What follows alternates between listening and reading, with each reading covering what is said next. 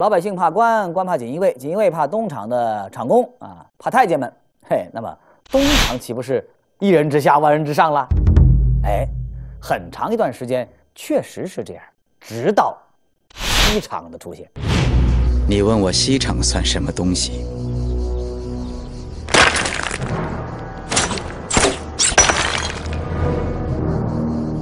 现在我就来告诉你，东厂破不了的案，由我西厂来破。还有，你听好，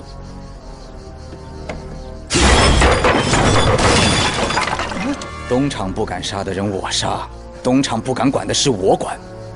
一句话，东厂管得了的我要管，东厂管不了的我更要管。先斩后奏，皇权特许，这就是西厂。够不够清楚？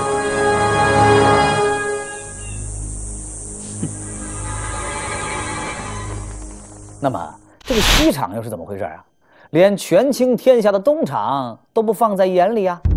你可能不知道，西厂的名气虽然大，但是它存在的时间很短，啊，跟基本贯穿了整个明朝的锦衣卫和东厂相比啊，那简直没有可比性。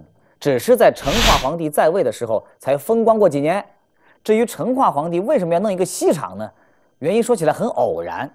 话说明宪宗成化十二年，也就是公元一四七六年十月，紫禁城里边出了一桩奇案。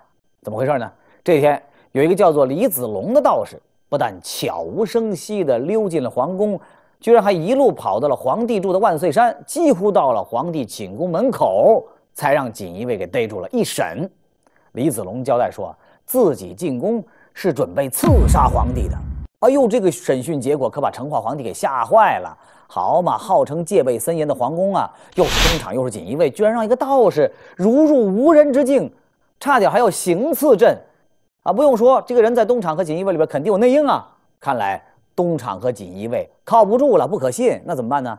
朱见深就把自己最宠信的太监汪直给找来了，让汪太监另外再找一班人来破这个案子。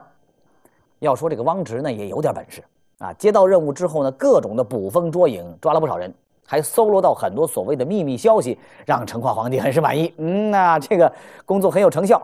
等到案子办完之后，朱见深告诉王直：“你找的这帮人呢，也就甭回原单位了，咱们再弄一西厂，东厂和锦衣卫以后都归西厂管。”就这么着，一下子西厂又成为了最牛的特务机构，东厂和锦衣卫都得听王直的。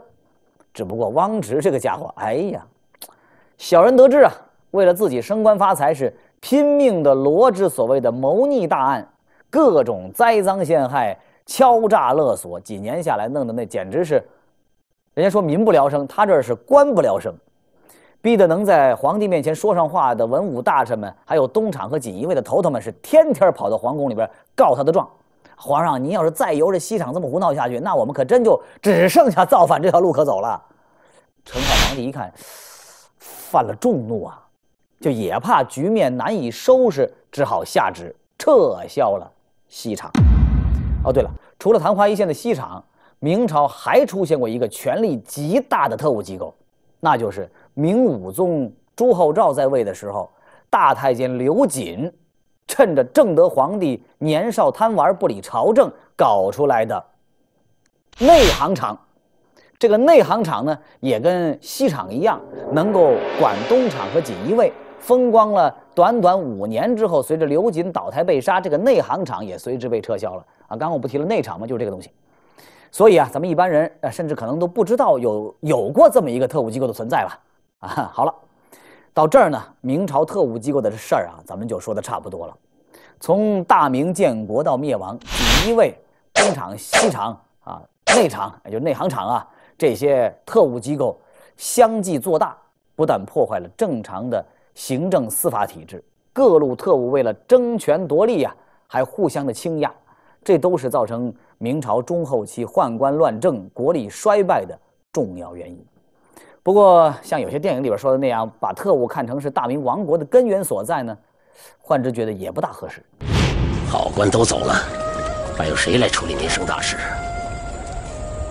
那些东厂阉贼，最厉害的几个头目，这半年来都做了我们的刀下鬼。平定了东厂，这些好官就可以早日回来了。